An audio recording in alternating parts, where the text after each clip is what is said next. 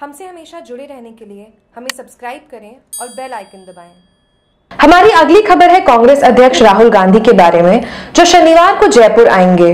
उनके स्वागत में कांग्रेस नेता जुटे अंतिम तैयारियों में। राजस्थान में प्रधानमंत्री नरेंद्र मोदी और बीजेपी अध्यक्ष अमित शाह के दौरे के बाद अब कांग्रेस भी शनिवार से चुनावी अभियान का श्री गणेश करने जा रही है। बता दें कि राजस्थान में इसी साल के अंत में विधानसभा चुनाव होने हैं। इसको लेकर बीजेपी और कांग्रेस ने कमर कस ली है। इसी कड़ी में कांग्रेस राष्ट्रीय अध्यक्ष राहुल गांधी एक दिवसीय दौरे पर जयपुर आ रहे हैं। यहाँ राहुल गांधी एक रोड शो करेंगे, उसके बाद रामलीला मैदान में सभा को भी संबोधित करेंगे।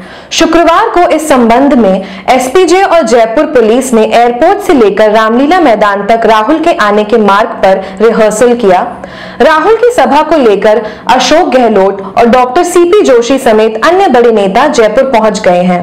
प्रदेश कांग्रेस राहुल गांधी की सभा को ऐतिहासिक बनाने के लिए तैयारियाँ ज़ोर शोर से चल रही हैं। राहुल गांधी के रोड शो के लिए स्पेशल बस भी जयपुर पहुँच चुकी है। दिल्ली से आई बस को एसपीजे की सुरक्षा घेरे में जयपुर लाया गया। राहुल गांधी इसी बस में सवार होकर रोड शो करेंगे और इस दौरान सचिन पायलट, अशोक गहलोत सीपी जोशी पांडे और डोडी सहित कई वरिष्ठ कांग्रेस नेता भी साथ होंगे। बता दें कि इसी बस में सवार होकर राहुल गांधी ने गुजरात और कर्नाटक विधानसभा चुनाव के प्रचार भी किए थे। इस स्पेशल बस में एसी और लिफ्ट सहित कई सुविधाएँ उपलब्ध हैं। राहुल गांधी का रोड शो 13 किलोमीटर का रहेगा और तीन घंटे में पूरा होगा। रोड शो के दौरान सबसे आगे बाइकों का काफिला होगा और पीछे अन्य वाहन चलेंगे।